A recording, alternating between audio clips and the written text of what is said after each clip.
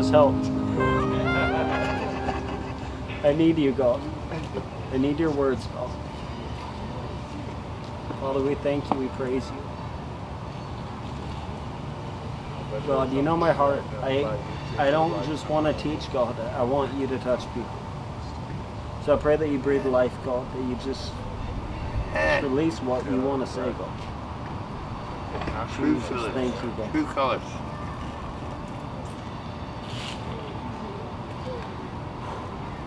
So- That's what I want to hear.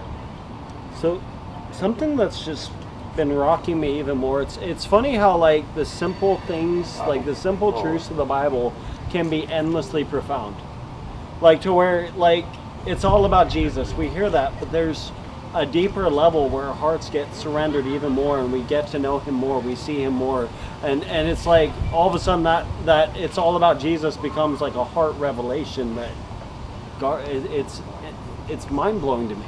Damn, I know. And then you try telling people like the most profound, impactful thing God's showing you, and it just sounds like simple, childish stuff. Yeah. Like, but the last couple weeks, he's just been downloading just about hunger and like talking to me about like being hungry for the things of God. Like that thing's huge. Like, um, but the other is the fact that we can actually find God. We can know Him personally. Where God's not He's not distant. He's not far off.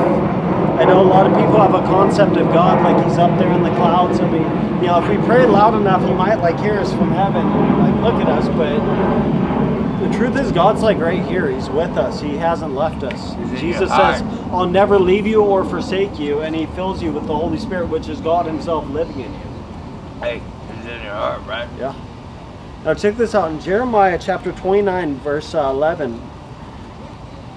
God says, For I know the thoughts I think towards you, says the Lord. Thoughts of peace and not of evil, to give you a future and a hope. I love that because God, when He looks at you, He doesn't like, oh no, I can't believe they messed up or I can't believe they missed it. But his when He looks at you, His heart and His intention towards you says, hey, there's a future there. There's a hope there. I have something more for you. I love this. This next part says, Then you will call upon me and go and pray to me, and I will listen to you. And you'll seek me and find me when. There's the when. I notice a lot of things in the Bible, a lot of the promises in the Bible have conditions in which these promises are fulfilled. You know, it says all things work out for the good of those who love God and those who are called according to his purpose. That passage does not say all things work out for the good, period. It says those who love God, those who are called by Him. Like there's this qualification, like where our hearts are positioned to receive His promises. Here's here's the qualification here. It says, "You will seek me and find me when you search me for all your heart, with all your heart."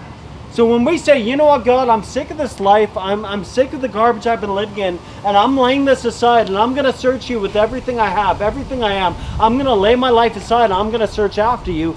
You will find Him." See, that's why Jesus said, deny yourself and follow me. There's that denying yourself that's really important. I want to sit closer, man. I'm, I'm not really paying attention. I want to sit a little closer. Check this passage out. Oh, wait a minute. I love you, Uh, man. I want to sit a little closer. Check, I check this gotta out. follow this guy. In Second, Chron- Second Chronicles chapter 16, verse 9, it says, For the eyes of the Lord run to and fro throughout the whole earth to show himself strong on behalf of those whose hearts are loyal to him. Wow. Their other translation says, those whose hearts are fully his.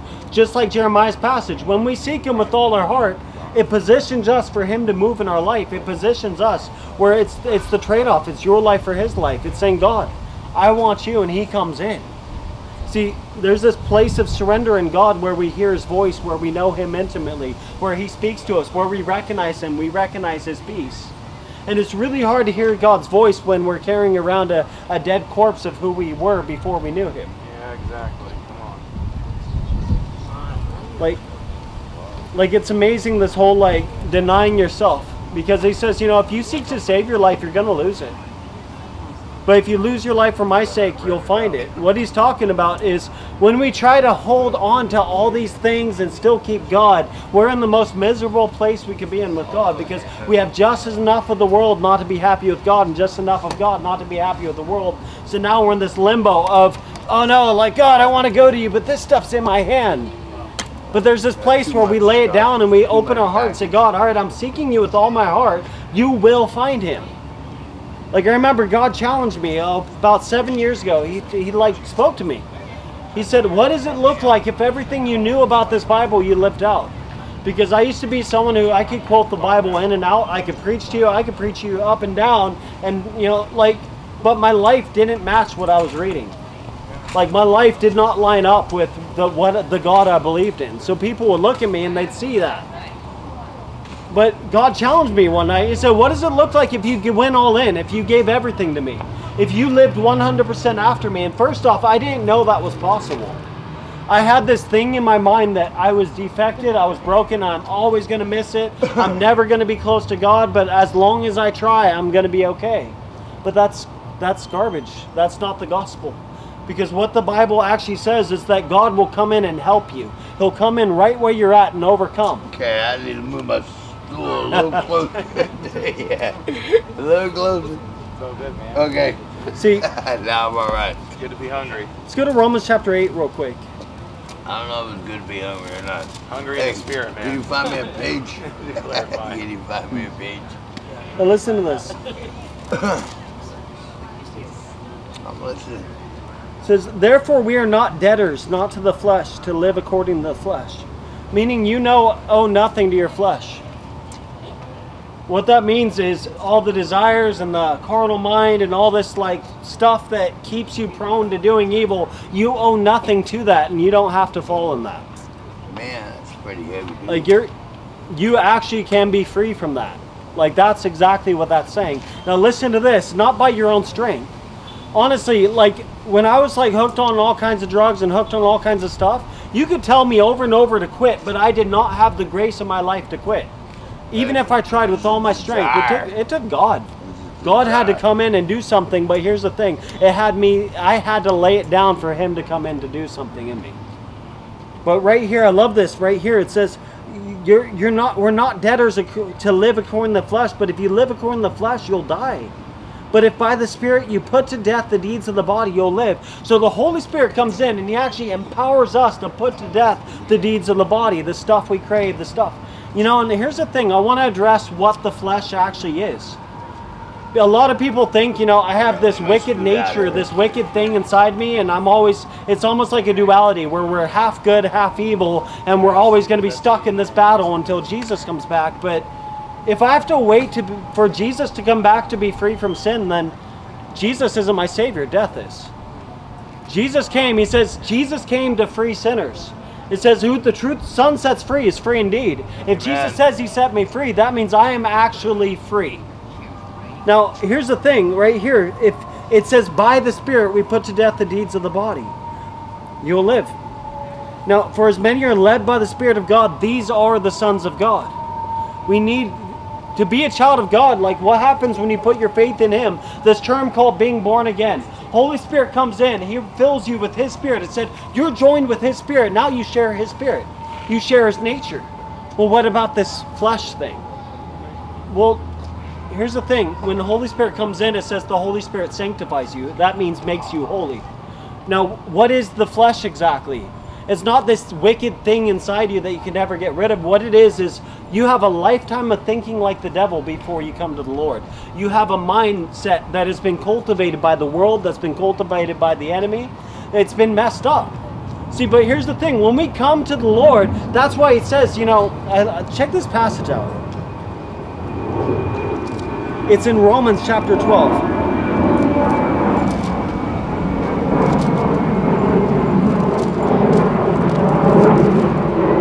Says, I beseech you, brethren, that by the mercies of God you set your bodies as a living sacrifice, holy and acceptable, which is your reasonable service.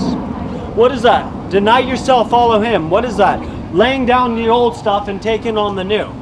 Now, when you do this, it says, and do not be conformed to this world, but be transformed by the renewing of this thing. by the renewing of the mind. So the transformation actually comes from thinking differently, which actually the word repentance, if you look at the definition in the Greek, it means to change the way you think, to reconsider, to go one way, then turn to another way. It's a new mindset. What it's saying is, guess what? Your your mind was cultivated by the enemy. You learned to think without God, but then when you come to the Lord, this thing's messed up, but He gives you a new this thing. Says He gives you a heart. You know, He'll take out your heart of stone. He'll give you a heart of flesh. He'll put His spirit in you and write His law in your heart. So have you guys noticed that when you come to the Lord, all of a sudden this thing called the conscience comes in? Yeah. And you're like, what is this thing? I remember like I would get spun out on meth and that was my peace. Like I'd be uh, hooked on drugs. That was my peace and I had no conviction of it except when I was off it. Then I had to run to drugs because that's what satisfied. But after I gave my life to the Lord, something changed in here. What happened is Holy Spirit came in my heart. He made this thing holy. So when I started falling in that stuff again, Holy Spirit's like, you're violating this. You're violating this. I made this holy and you're violating it. All of a sudden it starts you have this godly sorrow that leads to repentance. All of a sudden, those things no longer satisfy you. I remember, like, I used to drink like seven cases a night, like in a party house, and I could not drink my need for Jesus away. End of the night, I'm drunk, I'm plastered, but I still have this void inside that says I need more than this. I and it's funny. Before I knew the Lord, that stuff would be my satisfaction. That would be everything. Now, the amazing thing though is here's the thing God doesn't judge you in your brokenness. He doesn't come in and says, Look at you, look at the mess you're in. Look, I can't believe this. Why don't you clean yourself up and come to me?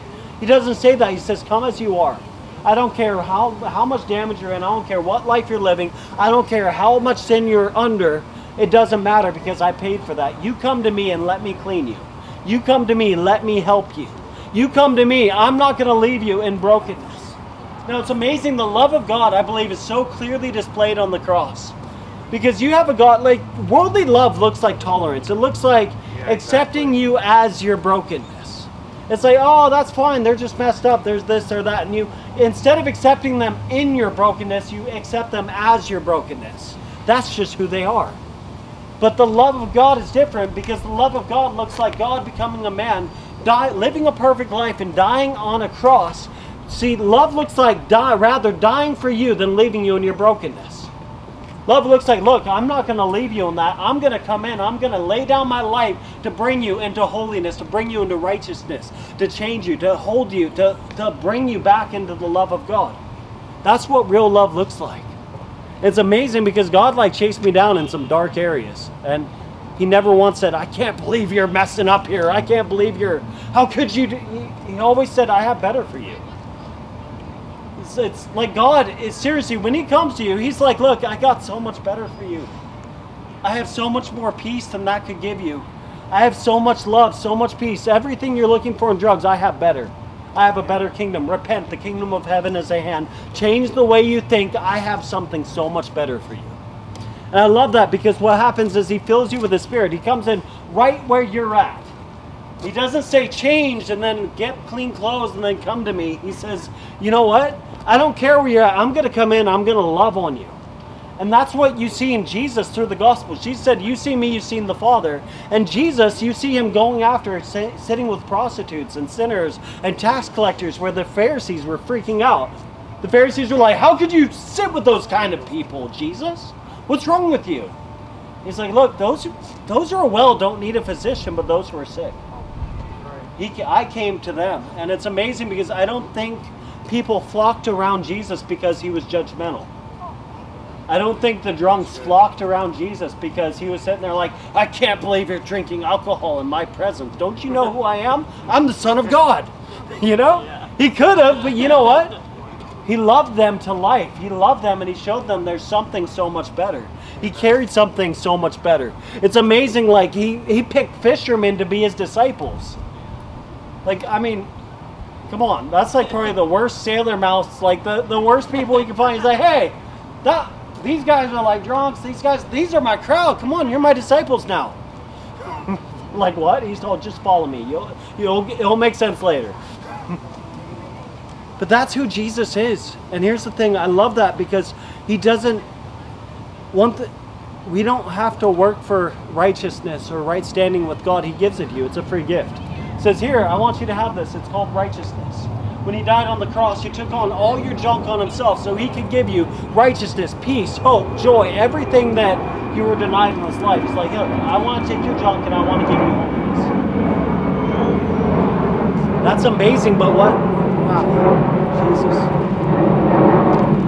And then he comes alongside you and he gives you not just righteousness, but grace.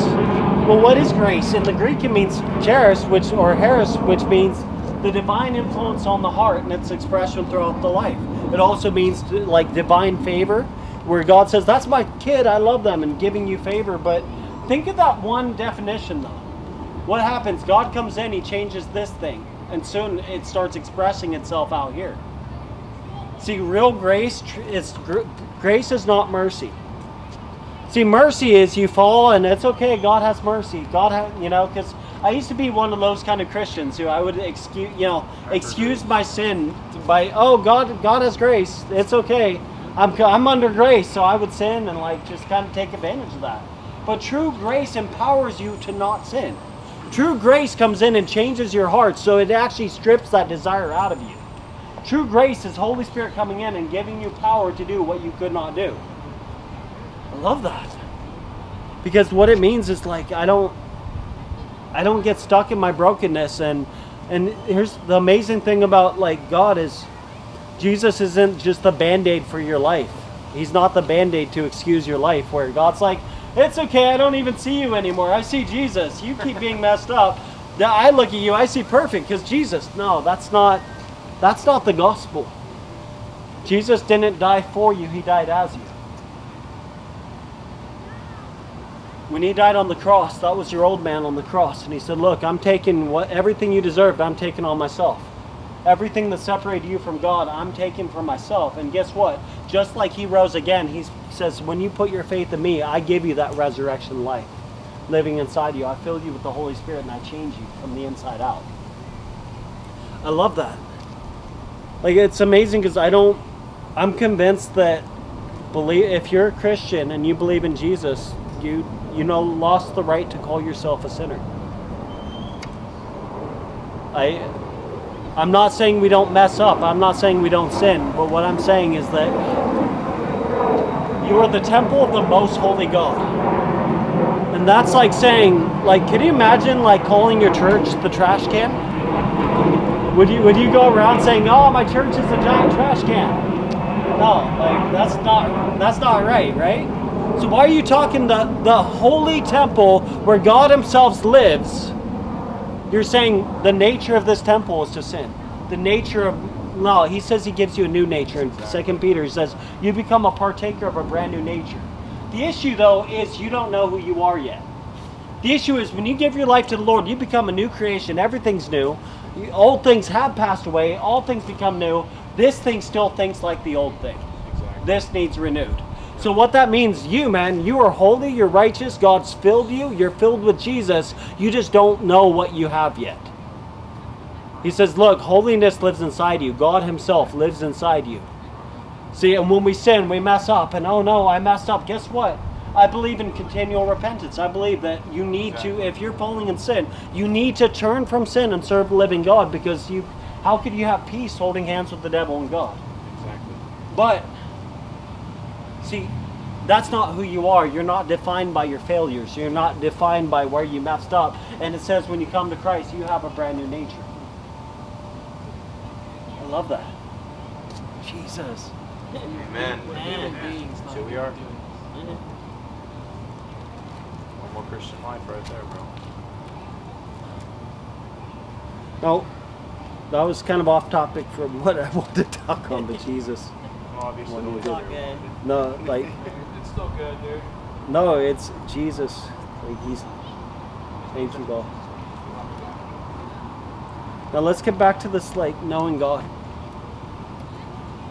I think the most precious thing we could have in our life is a real, authentic relationship with God. Where our hearts are vulnerable to Him, where we know Him, where we wake up in the morning and we start encountering Him and seeing Him. Like, it's amazing. Like, we could actually find God, we could actually know God in a personal way. where I don't just know about God, I just don't just know Scripture, but I know Him. He speaks to me, and I love Him. He comes in and He touches me a lot of times with His presence, where I'm like, oh, God just like He's here tangibly, and it's like we need to be hungry for the things of heaven. We need to be hungry for Him. But he said, If you seek me with your whole heart, you'll find me. What exactly does that mean? That means when you stop trying to be someone you're not anymore, because that person's dead and gone. It said, Your old man's dead. You're a brand new creation in Christ. Who you were in the flesh doesn't exist anymore. It's crucified with Christ. You're a brand new creation, created in true righteousness and holiness. That's what it says in Ephesians. But once we start embracing that, what what it's denying yourself and following him. It's letting go the junk and saying, God, I want everything you have. It's saying, you know what, I'm done carrying this corpse around. I'm gonna lay it on the ground and I'm gonna follow you, God. So much easier too. It really easier it's so much easier to walk in relationship than it is to try to like make your old man look like Jesus. Yeah. Says your old man's dead in the Bible, you're a brand new creation. So when you're trying to like force your old man to look like Jesus, he kind of has a stench, you know? He's been dead a while. It's not to happen. We can't dress up the old man look like Jesus. That's why he's like, just let him die. You're a brand new creation. It said you died and your life is hidden in Christ. It's hidden in Christ because we get to find him. And it's in that place of relationship where we actually find him. We actually know him. Jesus. I think this is a good slogan. I could see some big this on Facebook, but I would I would define religion as this: religion is dressing your corpse up to look like Jesus. Like to that, look like Jesus. like that uh, spoken word from uh, G-O-S-P-E-L, God our sins made eternal life. Yeah. Uh, what, what, what you just said is just like trying to put perfume on a corpse as if something doesn't stink. Yeah. Yeah. exactly. Exactly. I here's the thing. Am I and I want I want to clarify some things. Like the passage that Psalm was going to read, it says, you know, as we behold as in a mirror the glory of the Lord, we're being transformed by the into the same image from glory to glory. What that means is, as we behold Christ, we become like Him, and it's a process. I'm not. I'm not saying that I don't mess up sometimes. I'm not saying I don't miss it. But what I'm saying is that's not who I am, and God's called me to better. Amen. Any area I slip, it's not. Oh, that's just my nature. That's just me. I don't give myself excuses because Jesus didn't. Amen. No lies. I realize when when you when you're convinced you're a sinner, you sin by faith.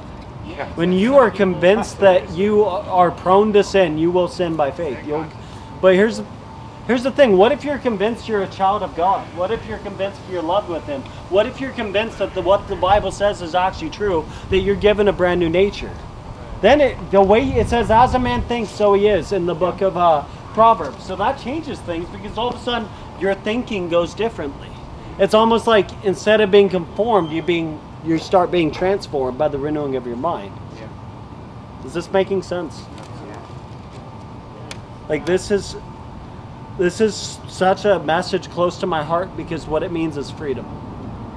What it means is see the devil has a lie where he he put a lie in the church and put a lie in believers saying that he has a place there. And he doesn't. He's, that's a violation to who you are. See, the devil has a lie saying this hook belongs there. It's always going to be there, but it doesn't have to be. So, like, my heart is for freedom. But check this out right here. I love this. Says, if you were raised with Christ, seek those things which are above where Christ is. Sitting at the right hand of God. So when you know Christ, you just let go of the junk. Put your focus on Him. It says He'll keep in perfect peace whose minds are fixed on Him. See, when He becomes our focus, and we just get hungry for the things of heaven, the hungry for Him. I love, you know. And here's the thing too, like I'm starting to, I'm falling more and more in love with Him, and not just what He does. On the flip side, for those who come out with us and see miracles and like God starts moving and healing people and it's amazing. But here's the thing that in itself's not going to satisfy you. You need Jesus. You need a relationship with Him. You, we need to know Him and be filled with Him because it's about Him.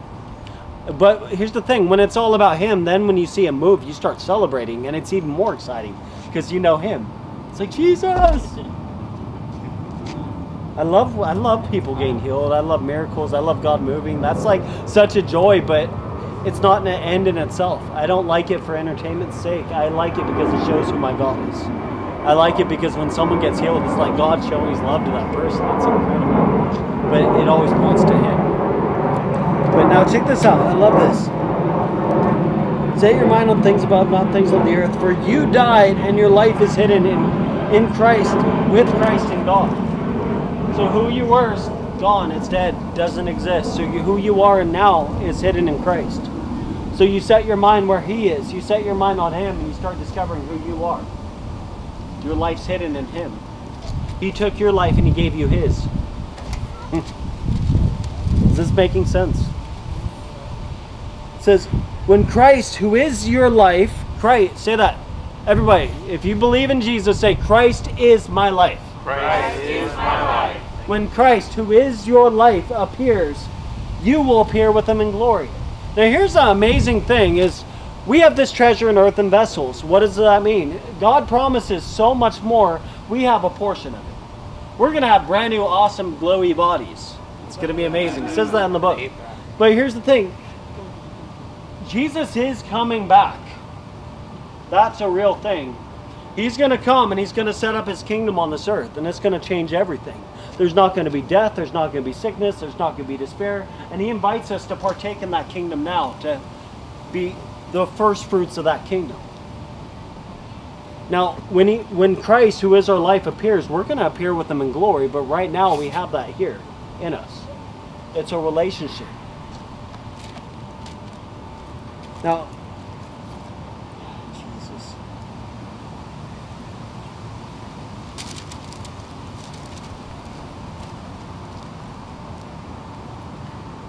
It says, Therefore, put to death your members who are on the earth fornication, uncleanness, passion, evil desire, covetousness, which is idolatry. Because of these things, the wrath of God's coming upon the sons of disobedience. And does God have wrath? Yeah. God, God is a righteous judge. He's righteous. Here's the thing He owns everything, He created everything, and everything belongs to Him. So He has rights. You would consider a government that doesn't punish evil unjust. So how would God, who created all things, like he, He's just, He's righteous. There is a day of wrath, but it says that He desires all to come to repentance. That's God's heart. That's God's nature. His heart is not to judge people in their sin, but to deliver them from it.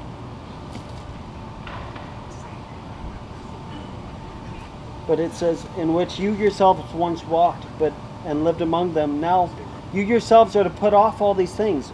How do we put off the deeds of the flesh? By the Spirit. So you get filled with Him. You set your right here. It tells you put your mind on things above. Put your mind where He's at. Get filled with Him. Start focusing with Him, and then all of a sudden you start finding the deeds of the flesh start getting easier. You start getting angry a lot less. You start, you know. Ah, Jesus. Says, Now you yourselves put off all these things anger, wrath, malice, blasphemy, filthy language out your mouth. Don't lie to one another, since you have put off the old man and his deeds, and put on the new man, who is renewed in the knowledge according to the image of him who created him. So, I love that. We're being renewed into the image of him who created us. Well, what happened in the beginning? We were created in God's image. Fall came in. That image got distorted. Jesus came. He's the image of God. We come into the kingdom. We come into Him. We believe in Jesus. And the Holy Spirit's out of work, forming us into the image of Christ. And right there, it's saying, guess what? Take off the old and put on the new. That is the image of God. Love that.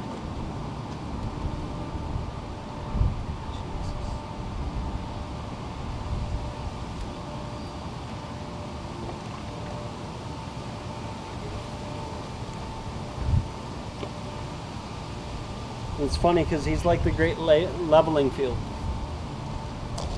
Like, you know, it doesn't matter what class you're in or what group you're in or what race you are or male female. Like, it doesn't matter. You need Christ. It's Jesus. That's why it says right here, it says, There's neither Jew nor Greek, nor circumcised nor uncircumcised, nor barbarian nor Scythian, slave nor free, but Christ is all and in all.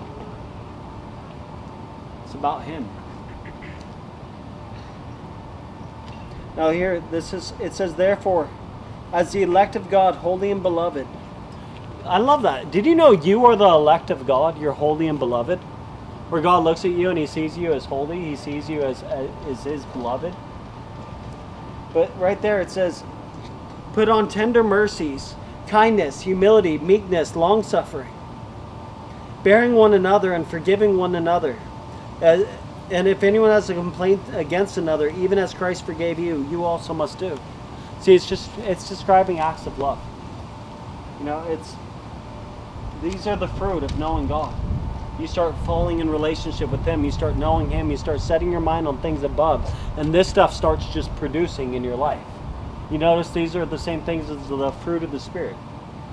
Now, how do we grow fruit? Water it. Water it, yeah. Set your mind on things above. You you feed it. You you go after it. Yeah, Uh, seek the Holy Spirit to teach you the Word of God. That's- really good. He's See? the only one that can teach you the Word of God to understand spiritual well, well, good soil and water, right? So, And Sunlight. Sometimes a little bit of that, that good food. so we need- Oh, So, you fertilize so it's it's interesting how in the Bible soil is a parable for the heart a lot of times. So what does that mean? You keep your heart clear of weeds. You take off the junk that will stop this seed from growing in you. You you take out the junk that will stop it from growing, and then you keep watering it. Relationship with God, intimacy with God. You spend time with Him. That could be praying. That could be reading your Bible. All these Christian disciplines are amazing, but if you don't connect to God through them, they, they don't do much. It's about connecting to Him and knowing Him. But when we know Him in that relationship, like, have you ever like, can you like yell at a fruit tree and tell it to grow? Would that work? Hey, maybe by faith. Like I, I have this blueberry tree that I've had, and the first year we had it, it like had awesome like their pink lemonade blueberries. But then it stopped like for like two years. I haven't seen blueberries on it. Like me yelling at it, it's not gonna like you're you need to grow blueberries, or you know. A fruit tree doesn't have to try really hard to grow fruit. It's just right soil and continually water, and the fruit just comes. So here's the thing. Here's the key. Set your mind on things above. He'll keep on you in perfect peace whose minds are fixed on Him. Put to death the deeds of your members. Get rid of the weeds out of that garden. Don't allow weeds to grow there. And guess what? You have good soil. God's going to pour in it, and you're going to see it grow. And these are th- these become the heart's response rather than things you're trying to do. Love that. But above all these things, put on love, which is the bond of perfection. And let the peace of God rule your hearts, to which you are also called in one body, and be thankful. I love how it ends with love, which is the bond of perfection, because here, God is love, right? It says that in 1 John chapter 4 that God is love. If you don't love, you don't know God because God is love. Right? So when we love each other, that's the purest expression of who God is. And he's saying, Look, you're a partaker of my image. Who's God? He is love. So when we love each other, we're showing and we're, we're proving, we're releasing who God actually is. And everything really does come down to relationship. So I'm gonna. There's this one passage that I've read probably over and over and over and over again. And I'll read again. It's uh, John 17:3. It says, "For this is eternal life, that they may know you, the one true God, and Jesus Christ, whom you've sent." So Jesus puts eternal life on knowing God. We need to really know Him. Now, knowing Him is relational. It's not something that we just. I read my devotional today. It's good, but it's living your life to know Him. It's seeking after Him. He says, "You'll find me if you seek me with all your heart." Like, Jesus is not like a fast food thing, you know. Like, okay, I got my I got my Happy Meal today. We're good. Went through the drive-through and I got my Jesus. We're good, and you don't have to think about Him anymore. But it's, it's a life laid down, and here's the thing: He's worth it. He is the only one worthy of you laying down your life. He's the only like who he actually is. When you know him, it changes everything. Because it's like he's the most beautiful, most wonderful, most incredible person we could ever get to know. And he fills us with love, and then we start realizing, wow, like everything my heart desires is found in him. Because he created your heart, he knows you. He, he made you in such a way where he's actually the fulfillment of all your heart's desires. Jesus.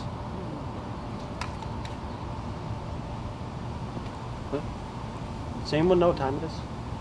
I got 913. 9.13? Okay. All right. Are, are you guys okay? Could I go just a little bit longer? Or? Sure, go ahead. Okay. We'd love to hear it. So, Do it. So let's go back. I was talking about about seven years ago. Like I was uh, drinking a lot, and that was just my life. Like I would, you know, wake up, drink, then play Call of Duty, and I was a Christian. I read my Bible. I read, you know, scriptures, and that's when God challenged me. He said, "What does it look like to go after God 100%?" You know, I actually took him up on that challenge. Then that night, like I went to sleep, and God gave me a dream. You know, God speaks in a lot, a lot of different ways. He'll speak through dreams. He'll speak through impressions. He'll put things on your heart, all of a sudden you'll just like know. You'll, you'll read the Bible, and then you're, you'll start feeling something. You're like, wait, what is that? It's God speaking. He doesn't always speak with audible words, but he just he speaks in a lot of different ways. So that night he gave me a dream, and he showed me all these things in my life that were idols that I kind of held above him. What's an idol? Anything you hold above God. Anything that captivates your focus over God. Love you. Uh, brother. So, Another day So- of paradise. so God showed me all these things in my life that were idols, and all of a sudden in the dream, it's like this has to go right now.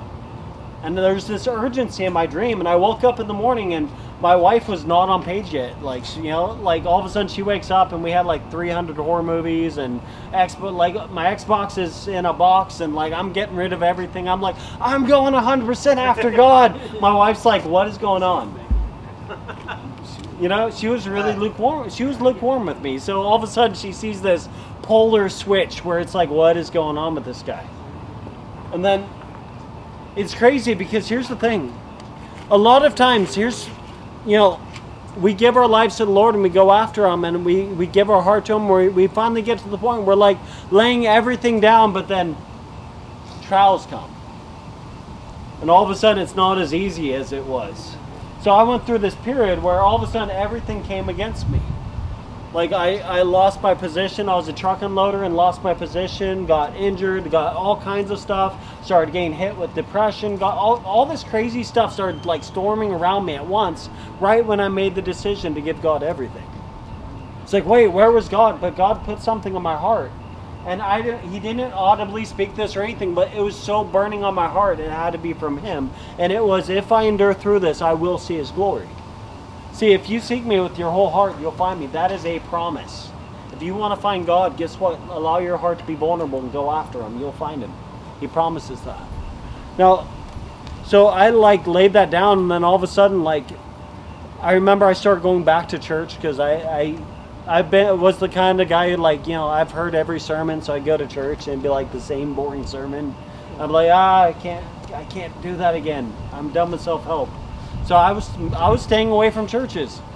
But then I started going back to church, and then all of a sudden I had this encounter with God where I felt His presence in a tangible way, and it was kind of like the first time I got saved, where I just got rocked. Uh, but He's just invaded me, and then like I felt this fire fill my chest, and then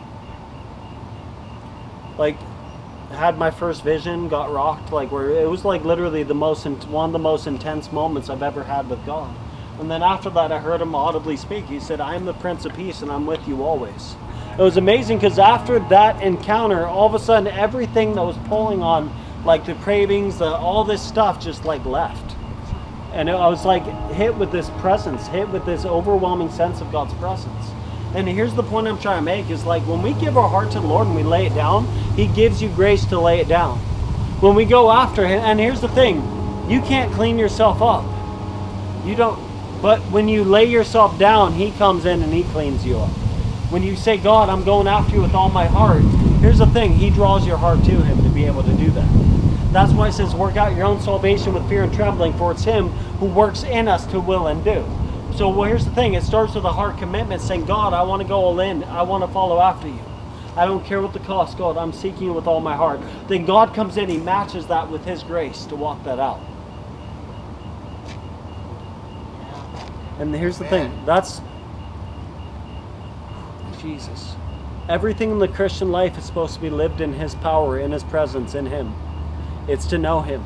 That's it. Like simple. Like and it's amazing because I I've been living in this place of no condemnation.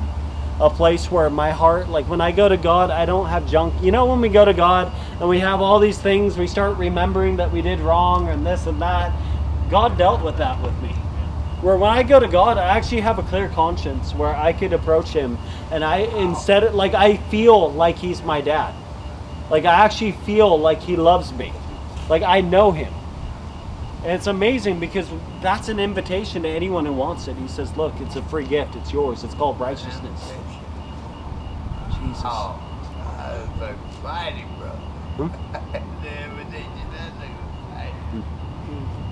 Uh, I got a little buzz full. That's cool, man. I want to hear that. I want to hear the word. Amen. Beautiful, man. Good, isn't it? Well, I do want to hear it. I so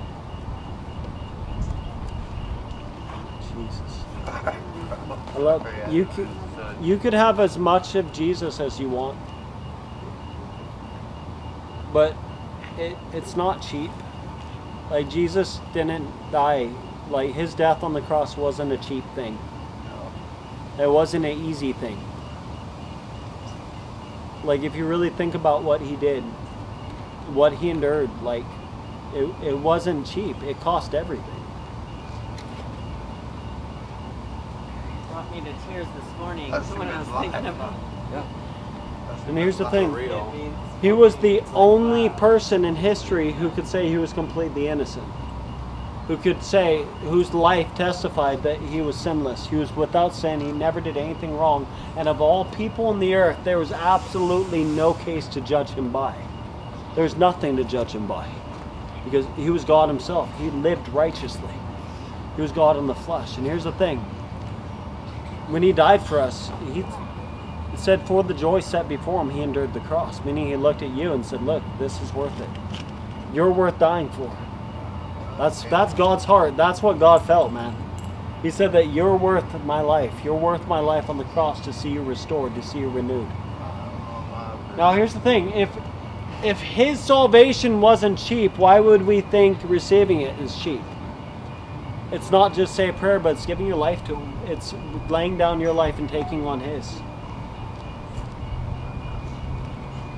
Mean, you could have as much of God as you want. Do you want just a little bit, enough to get in like the gates, or do you want enough to get heaven into you where it changes you? Right, and if it's I not wanna worth feel living it. for, Huh? I want to feel it. You want to feel it. You want to experience it here in this life, right?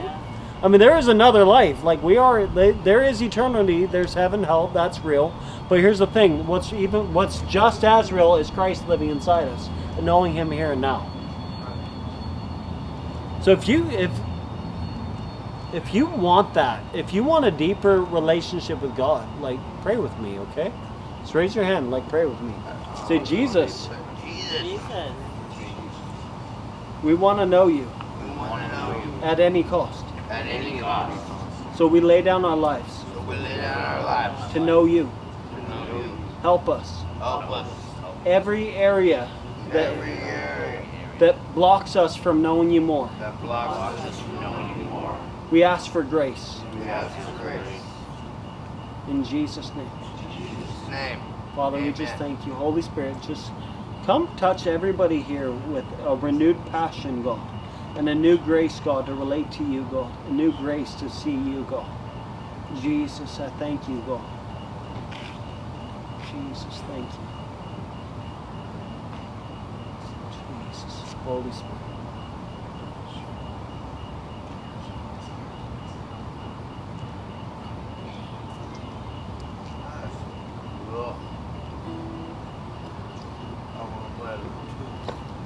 guys gotta go. You can go too. I just want to worship Jesus for a minute. Is that okay? Okay. I really, really love him. Like, not going nowhere, brother. Mm -hmm.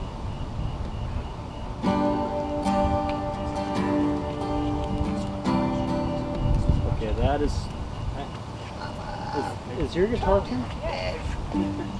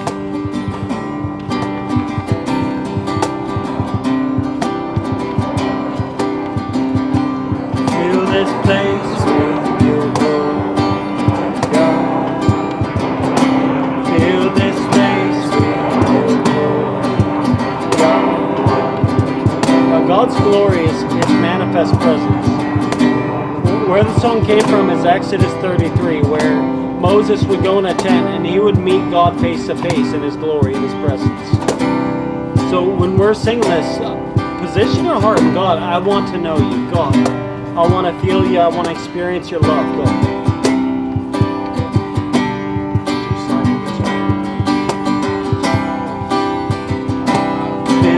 place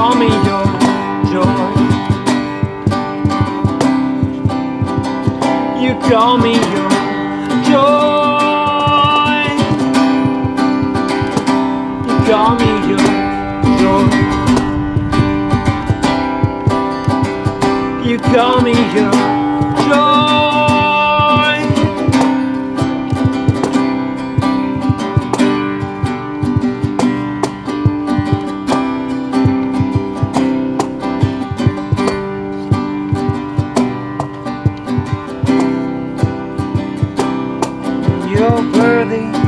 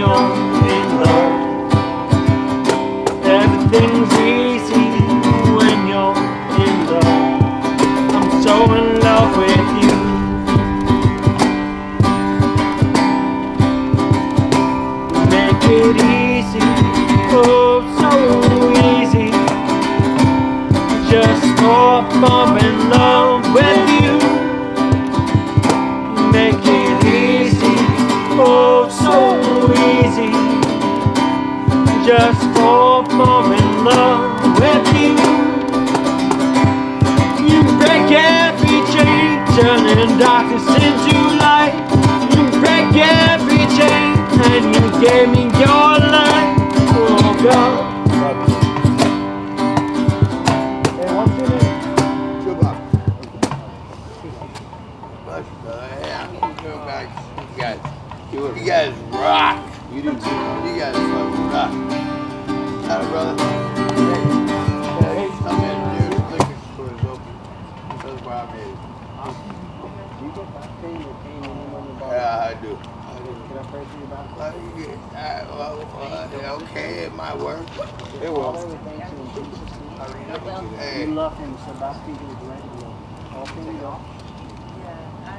Thank you, God, for wholeness. God. Jesus, everywhere you went, you healed the sick, and you say you're the same today as you were yesterday. So we thank you right now. Baptize us in Jesus' name. amen. How's your back feeling? Move it. Tell me if there's any difference. I don't know about my back. That feels pretty Friday good. at huh? seven at the Fausto. It's pretty good now. Hey, hey, Or is it gone? I got a little, I got a little bit of foot problem. are you doing now? It's all good. No, seriously. Okay, In Jesus' name right now, feet be healed. All pain goes go. 100% in Jesus' name. Thank you, God. This is easy. Oh man, You're a big the guy. Lord is good. How's your foot? It's good. It's good, brother. I'll walk into the liquor store, okay? I'll be back. Welcome to see church. We might, we might not be back for this. Week out. Hallelujah. Hey, Randy, see the Spirit of God when you're taking off and running Alright. into his work. Huh? I'm sorry. Take Jacob to work. Right on. Thank you, Moy. Appreciate it. Oh, it's his phone. I already knew it would. Where's it at? It's just Let's have some rap, dude. It's like, oh I'll post this on Facebook.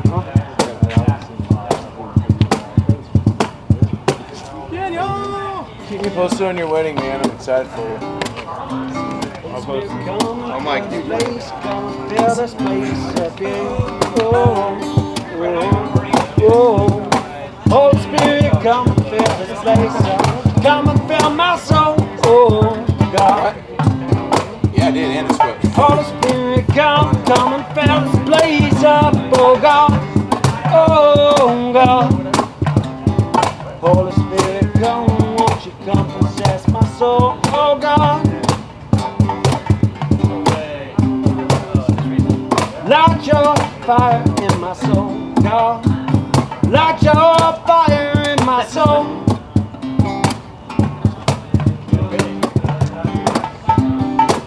Turn a secular song into like a Christian. We got Imagine Dragon. Remember we were like busting. no, like let's like there's it's super spiritual. Filled with the Holy